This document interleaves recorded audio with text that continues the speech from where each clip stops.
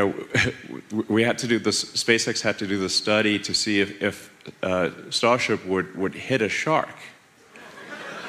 and I'm like, it's a big ocean, you know. Uh, there's a lot of sharks. It's not impossible, but it's very unlikely. And, uh, and, said, well, you have to, you know, this is, I think, from, from National Marine Fisheries, uh, one of the, you know, NMF it's called. Um, uh, and, uh, you know, they were like, well, you have to do the study on whether you're going to hit a shark. We're like, what? Um, and, and, then, like, then I, we said, okay, fine, we'll, we'll, we'll, do the analysis. And then, well, can you give us the shark uh, data? They're like, no, we can't give you the shark data. Well, like, okay, well, then we're in a bit of a quandary. How, how do we solve this difficult, this, this shock probability issue? Uh, and, and they said, well, um, well, we could give it to our Western division, but we don't trust them. And I'm like, am I in a comedy sketch here? Um,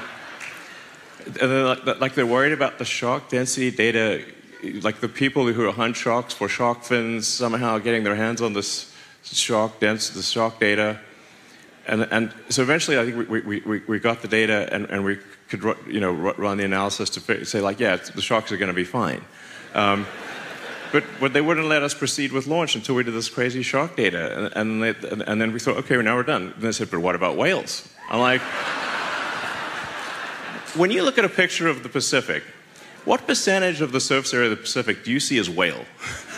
Because I see, look at a picture, I don't see any, it's like, you can't, where's a whale? And, and, and, honestly, if, if, the ship did hit a whale, it's like, honestly, that whale had it coming, because it's like the odds are so low you know, it, it, it's, it, it's like, like Final Destination, the whale edition. It's like fate had it in for that whale, you know. Um, and so we have to do the whale analysis. And it's like, okay, yeah, the whales will be fine too, you know. Um, it goes on and on. And then there's like, well, what if the rocket goes underwater, then explodes, and then the whales have hearing damage? Like, this is real. This is actually, and we're like, the, look, if we could make a rocket go underwater and be a submarine, that would be like a feat of physics we could not accomplish, okay? Uh, this, is not how it works. So, anyway, just one like crazy thing after another uh, where, um, you know, so this is why I like, I'm like really feeling the pain of the overregulation